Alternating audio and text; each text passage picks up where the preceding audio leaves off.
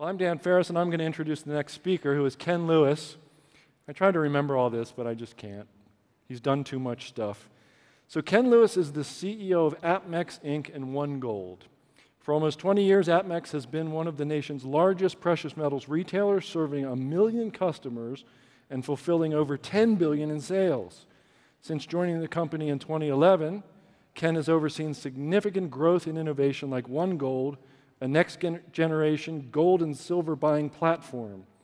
OneGold is a partnership between APMEX and alternative asset manager Sprott. Sprott, Sprott. I've heard of them somewhere. It's familiar. I'll, I'll think of it. It'll come to me. The OneGold platform is experiencing double digit monthly growth since its inception. Wow, I didn't know that.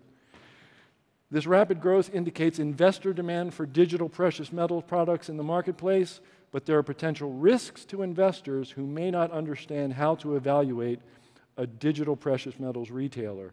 Ken will step us through how digital precious metals should work and what to look for in an ideal retailer. Please welcome Ken Lewis. Thanks, man. All right, Appreciate it. tear it up. All right, man.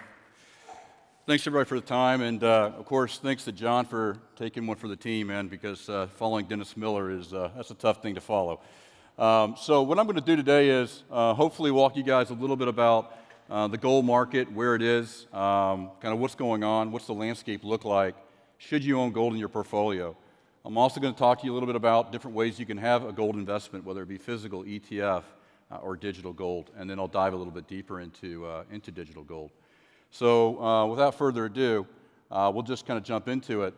So, one of the things we look at as a physical precious metal dealer is we constantly are reading the analyst reports.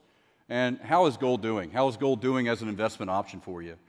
The chart doesn't lie. Uh, this is going back to the year 2000, and it looks at asset classes and where you can put your money. Um, the fact of the matter is, gold is the second best performing asset class since the year 2000. And I bet that surprises many of you in the audience because we think of gold as a safe haven investment. We think of some of the tough years it's had over the last uh, four or five years, and we don't necessarily look at it as a high performing investment per se. But the reality is the numbers speak differently to that. Uh, so it's actually performed very well. The only asset class, frankly, outperforming it is real estate. You also see an interesting trend there. In 2019, pretty much everything's moving up and moving very aggressively. And that's something we all need to pay attention to, I think, in the future when we think about where to put our money and where to put our investments. I do want to make one disclaimer, too. Uh, I'm not going to give investment advice. Uh, we, we want to take care of our customers, we want to sell you precious metals, but you've got to decide whether that's right for you and your situation and how much you should own. Gentlemen like uh, Stansberry do a great job of educating you on the principles of it and, and where it might fit your situation. So, why gold? Why would you want to have it in your portfolio? What makes it attractive to the everyday investor. Um, there's a few things that uh, you know, his, history kind of teaches us. First and foremost, gold tends to perform inversely to the market. Go back to 2008. Think about what happened in our equities markets at that time, and look how gold performed. You can even look at the years 2012 through 16. You can see where gold struggled, but the equities markets did very well. It's one of those kind of investments that have a natural hedge. It's great for a diversification strategy. You'd be silly to put all your money into gold. I'd be the first to tell you I would never do that. But at the same time, you'd probably be silly not to consider it for a portion of your investment portfolio, just because of the way it performs inversely to things like the equities market. And of course, inflation. You've heard it over and over again. Um, I had my team pull some data since 1990. It blows my mind to think about how the dollar continues to lose its value. And I know we could talk about the impact of the Fed and what the Fed does on the market uh, based on the previous speaker, but the reality of it is inflation's real and it does devalue the dollar. In this particular case, you can see it's lost 48% of its value. So putting those dollars in a safe and waiting 20 years, you would have lost 48% of the value of that dollar. Where gold, on the other hand, since 1990, obviously has gone up in value. So it's just something to think about. Um, I can even go back to the year 1913, go way back in time. The dollar's lost 96% of its value. 96%. It, frankly, when I pulled these data, it made me think twice about how much, how much I want to have in terms of dollars sitting in my bank account and, and in my personal safe. It really makes you think twice about it. Should you really hold a large amount of your assets in, in the dollar? It's a great question for you to have to answer. So we dive a little bit deeper. What's the landscape for gold and, and the way we look at it as an option today? What drives the price of gold? Is it going to go up? Is it going to go down? Like, again, I'd like to drive home the fact that I think it's a great diversification strategy. I really could care less. If it goes up, that means my equities may not be performing as well. If it goes down, my equities are doing great. And that's kind of how I like to think about it. But in today's environment, when you read the analyst reports uh, and you read what they're predicting what gold's going to do in the future, many of them are very positive on gold. And you ask yourself, why, why are people talking up gold right now? Why has gold done so well in 2019? And the reality is, you look at World Bank demand. World banks are consuming gold at almost record paces, and in some cases, record paces, depending on the country. They're putting a significant strain on the supply of gold. It's driving the price of the metal up. You ask yourself, why would world banks be consuming gold as one of their reserves? And the fact of the case is, many of them are getting off the dollar. They're a little uncomfortable with our U.S. politics and maybe a little bit with the direction we've been going. And they want to diversify some of their exposure to the U.S. economy. Who could blame them? You also look at things like interest rates. People tend to look at gold as an opportunity cost when it comes to the cost of money. When rates are higher, you, you think twice about whether or not you want to hold gold. You can make a return just by keeping your dollars in the bank. In interest rates declining, it tends to be very good for the price of gold. History has shown. Obviously, the tensions in the world today are not at all time highs. Obviously, we're not, a lot of wars are not going on and things like that. But when you look at all this trade conversations and the challenges it's putting on the different economies of the world, you can't, you can't ignore it. You can't ignore it. Look at the GDP growth in various countries around the world. It's a concern. And of course, the value of the dollar. Dollar's been trading close to an all time high for, for a while now. Do we think that dollar is going to continue that pace in the future? Um, if you answer uh, that you have concerns, then that's probably good for gold.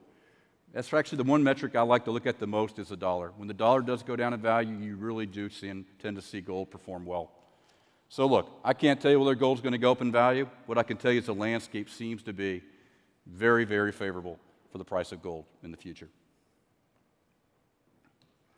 So, how do you, how do you own a position in gold? Uh, and I heard earlier a great presentation about buying mining stocks and where they explore for gold. And the return on investment of those are astronomical. I'm not talking about that kind of exposure to gold. There's high risk and high returns and, and that can work for you depending on your situation. I'm really talking about physical gold here, uh, or really is really tied to the physical price of gold. And really, there's three ways to own that. You can own physical in your home or in storage. You can own ETFs, or you can own digital. So, look, I'm the largest physical precious metal dealer in the world today. We do almost a billion dollars a year in volume, 550,000 orders a year. We know, we know physical. We know it very well, actually. Our partner in our digital solution, Sprott, is one of the largest ETF players in the precious metal space. So we have a pretty good understanding of that as well. And we're building knowledge up on the digital side. So as you look at those options, and I know there's many in this audience that believe in physical and believe in having it in their homes, I'm, I'm right there with you. I believe physical has elements. It actually helps you address certain concerns you may have in the markets today. I've outlined for you a few of the pros when it comes to physical, and of course, some of the con- concerns or, or the cons. One of the biggest things about physical is it's off the grid. It's yours. It's a great way to pass inheritance. You're not dependent on the financial systems, and who knows what's going to happen in the future uh, when it comes to that. Um, it's just something that's tangible. You really feel comfortable knowing you have a certain amount of assets uh, under, your, under your hands. But there are some concerns with physical. It tends to be a little expensive when you compare it to the price of metal. Um, security is probably the biggest one that I always like to coach people on. Seriously think about how you're protecting that investment in your home um, and making sure you're protected at all times. Um, and of course, when you go to sell, it's not always the easiest thing to do. And I'll be the first to tell you, APMEX has tried to make the selling of physical precious metal as easy as you possibly can get. You call up, you do a deal, we send you a ship label, it's fully insured, takes two days, you get paid on the third, call it a day. So it's getting easier and easier as retailers become smarter and smarter about how to do business with customers in that space. So, physical, obviously, a big part of my business. It's the dominant part of my business, um, and it, it's done very well over the last few years. Physical demand today in the markets are not where they were three years ago. Uh, we're down about 25% in overall consumption of physical compared to where it was. But we're still very healthy, not like two years ago where it was really at its bottom. So it's, a, it's an interesting market on the physical side, a big two way market, a lot of selling going on and a lot of buying. Uh, normally, you see one or the other, you don't see both. On the ETF side, When you dive into the ETF side, obviously, um, there's convenience, right? You can go to your brokerage account, you can buy it. Uh, depending on the situation, metal may there, be there, metal may not be there. I think some people wonder about whether or not it's really truly covered by a physical asset. And what happens with the counterparty risk? And am I exposed? Do I have title? Do I have ownership of that metal? And the answer generally is you do not. And you need to be concerned about that when you're evaluating ETFs. But I love the fact that ETFs brought ma- the masses to precious metal demand, right? It made it easy. It made people more aware of precious metals in their portfolio, and it's been a good thing overall for the market. There are some concerns. Costs can be high. When you're paying 40 basis points a year, um, you've got to factor that into your return on investment. You can't take redemption. You, I mean, you can if you want to go out and do a 400 ounce gold bar, but honestly, getting redemption is really not something that it supports. Um, and again, I've already talked about the counterparty risk. So both of these are viable options. And depending on your situation, I would recommend you consider these and do your own homework. Um, I'm going to talk about digital in a second, but I know this audience heard a lot about cryptocurrencies. And I want to talk about gold backed cryptocurrencies for a second. They're called stablecoins. There's one that just launched a couple of weeks ago. My, my caution to you is to be cautious. Do your research. Right, cryptos, I do believe in four, five, six years is going to be very relevant in our market. They've got some work to do, though. There's some big concerns out there. The dream is a good dream, right? Make it where it's uh, you know, asset backed fully if you have gold. Make it where it's low cost. Make it completely liquid. Um, allow you to have it off the grid and have that privacy that you want. Uh, make it easy to redeem or use that uh, investment. It's a great vision. It's a great vision. The reality, though, is not that. The reality is that there's a lot of question marks when it comes to cryptocurrencies. I was reading an article re- recently. The number one failing crypto investment right now, stablecoins, are gold backed stablecoins. Gold backed stablecoins. I read an article literally today where a company raised $90 million based out of Miami, actually, based out of Germany, but did the ICO. The state of Florida is investigating them. $95 million ICO raise, no gold. No gold. Think about that if you're an investor in that. Be a rude awakening, very rude awakening. So obviously you have to be, you have to do your research. Is the gold really there? How are you protected? How do they give you the confidence the gold's there? How do you make sure the cost is really reasonable? A lot of these exchanges are charging fees that you might be surprised when you add them all up. There really isn't a two way market. There's a product you just launched. We called them up and we said, hey, if I wanted to go out and instantly sell some product back to you, when can I do that? The answer was, well, first I've got to raise $7 million. Then you've got to hold it for 12 months. Then you can do that. And basically, by the time you got done, you realized it's not a very clear two way market at this stage of the game.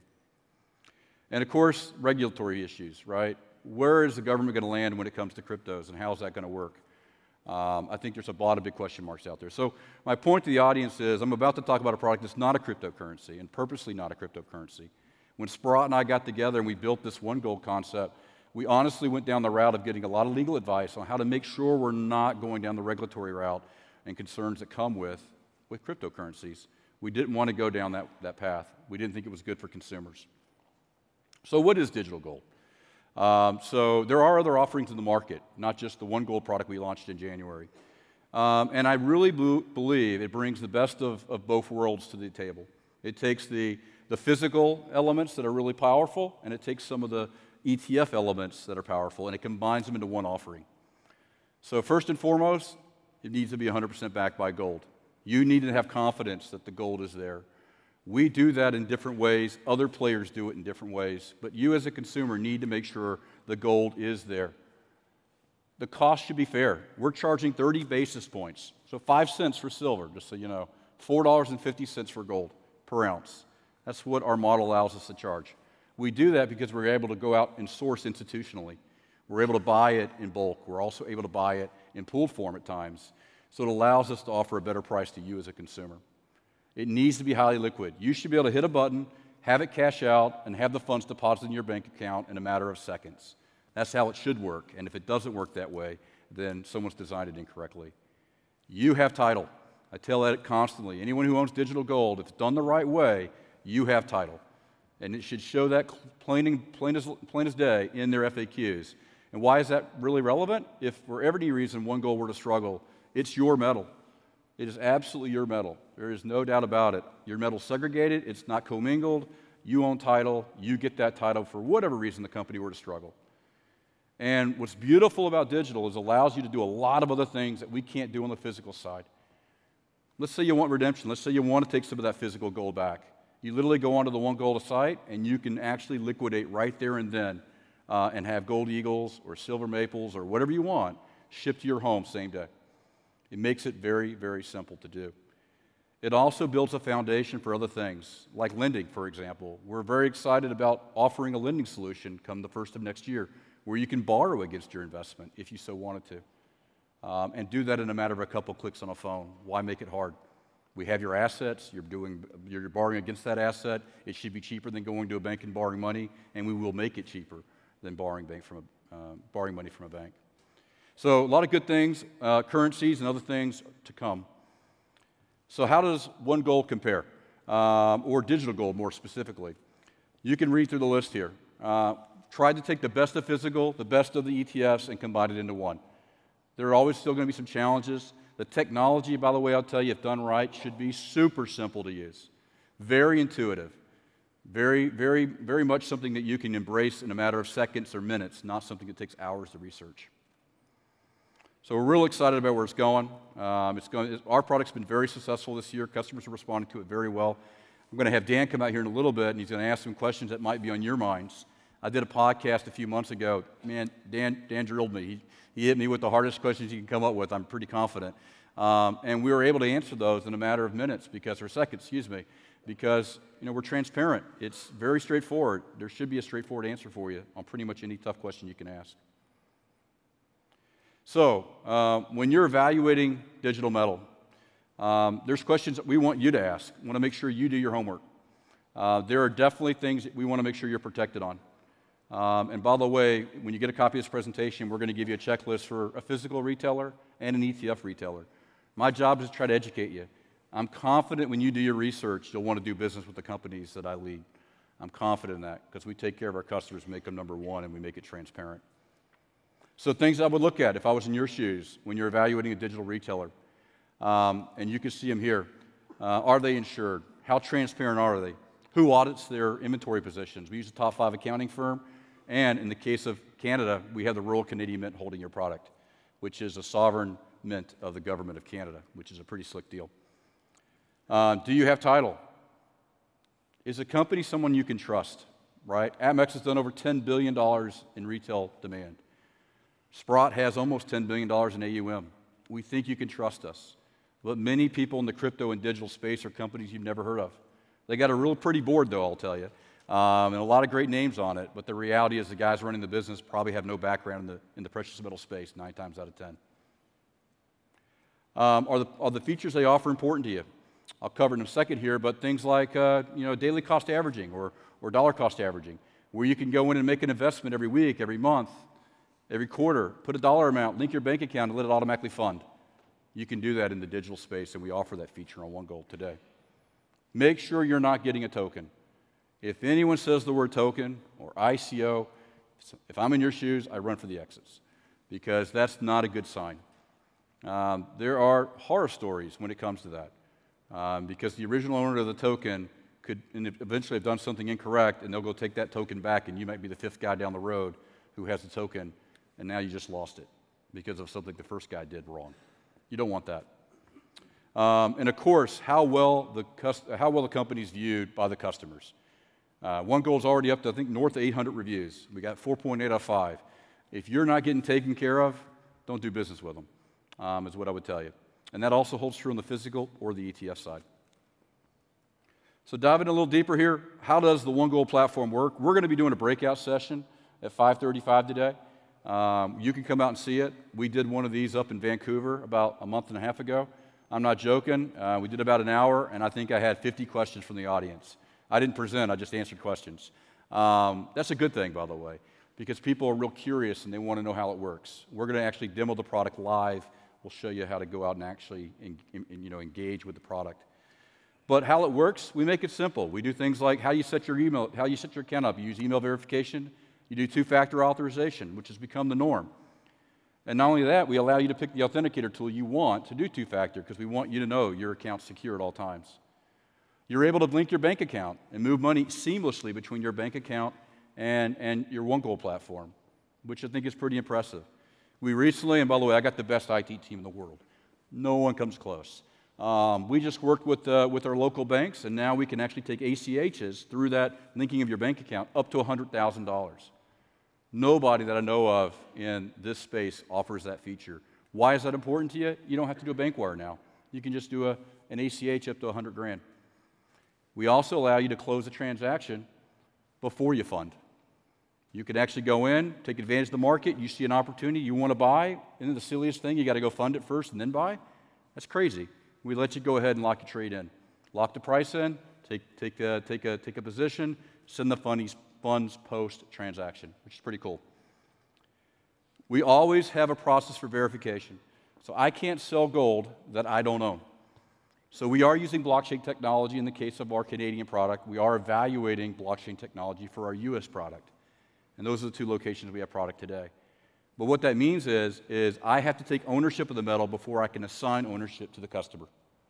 So in the blockchain, in the case with the Canadian product, I literally go out and buy product. The Royal Canadian Mint updates the blockchain to say my ownership interest. I assign title and ownership once they've done that update. So you know the Royal Canadian Mint has verified the metal is there before I can sell it. Pretty cool concept.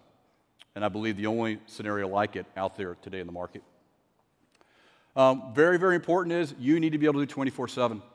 And we try to make it so simple. Uh, we have people, it amazes us how many people will buy and sell and use it as a trading platform. Really wasn't designed for that, but it allows for that.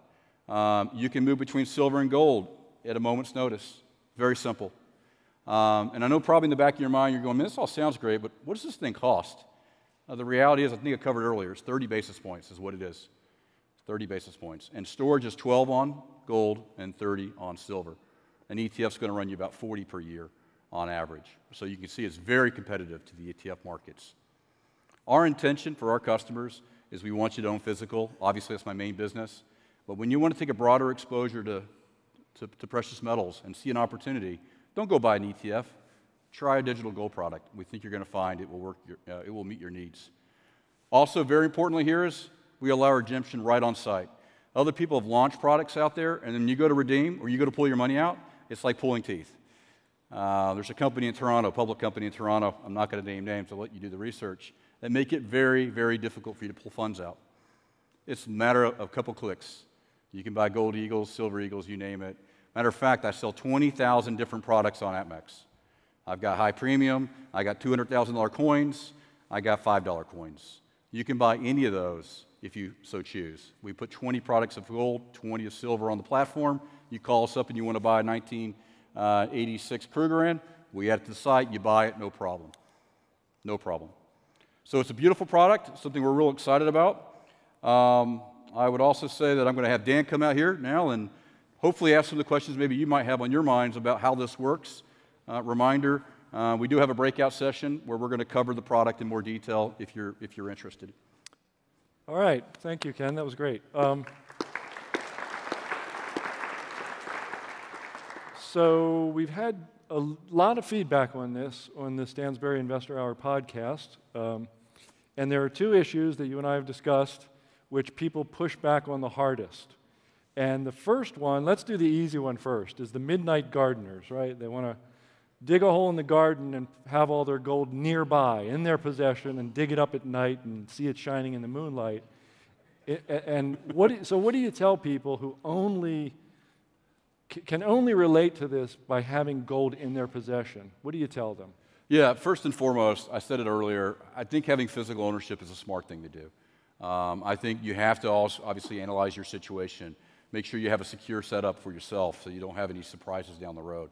Uh, but I think the quick thing I would summarize on that is, is you'd be silly not to think about options like digital and ETFs um, because, you know, frankly, it allows you to take a broader position and then quickly get in and out of it when you so choose. Right. Uh, what would happen if the markets had a run and, um, and you wanted to get out of your position? I would tell you if you have physical in the backyard, you're going to have a tough time doing that. It's not going to be the easiest thing to do. Uh, where a digital offering allows you to do that very easily. And what I also like to remind people is I mean, have you guys tried to store silver of any large amount? okay. Um, you know, I actually I have my own portfolio out there for people to see. Uh, I'm about 80 20 right now on silver. I'm, I'm very gung ho, I think, on silver.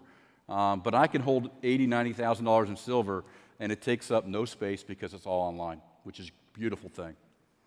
Very good. Um, of course, the other one is a little more complicated. And I was thinking, uh, there, there's four parts, right? If I'm a customer and I want to do a OneGold account, there's opening an account and putting money into it. There is buying metal, holding metal, and then selling metal.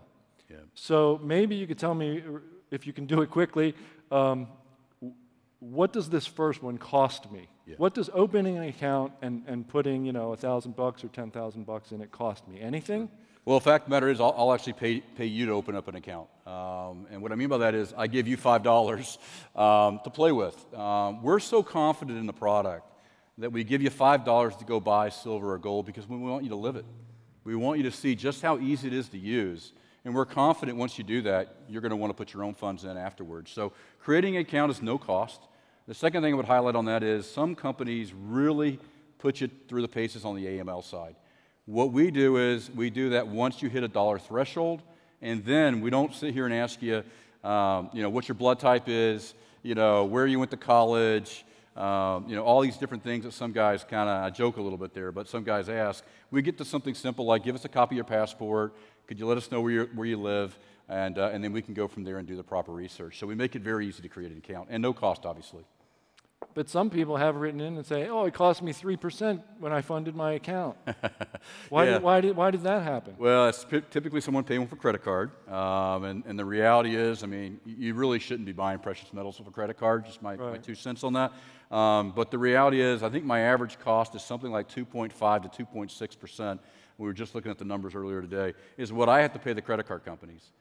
So I'm telling you guys, I'm only charging 30 basis points, so my margins can't be much better than that, right? If that's all I'm charging.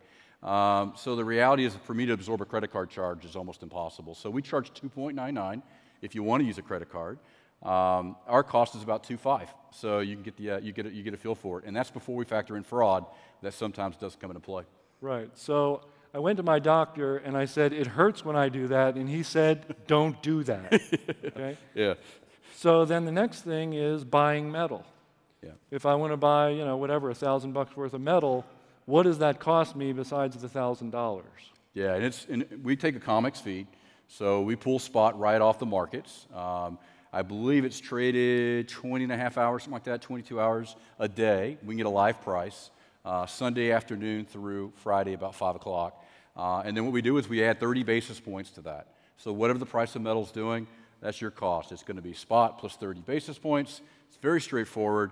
Uh, we recognize that, and frankly, one of the challenges I didn't cover earlier, you know, these ETFs that claim to be able to let you buy at spot, the reality is, do your math on it, do your research. Many of them trade at a premium and a discount to, to spot, depending upon where the markets are at that time. So it's a little bit un, undetermined. Ours, spot plus 30, no matter what product you buy. Nice. Uh, the next thing was holding. So I want to hang on to my metal for a while.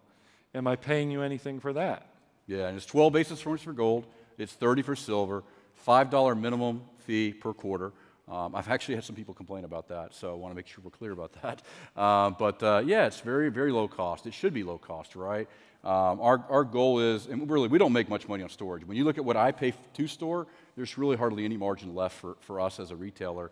Our main opportunity for you is to get, make sure you know it's safe. And by the way, when we say storage, we're not talking about storage in, in Ken's uh, locker over here. We're talking about Brinks, Loomis, um, you know, very secure environments, fully insured facilities at all times, uh, institutional quality metal. We're not talking about, um, you know, doré or something like that sitting out there that's not actually in a physical uh, form that I could sell to banks. You're talking about real physical product that can be sold to banks on a moment's notice.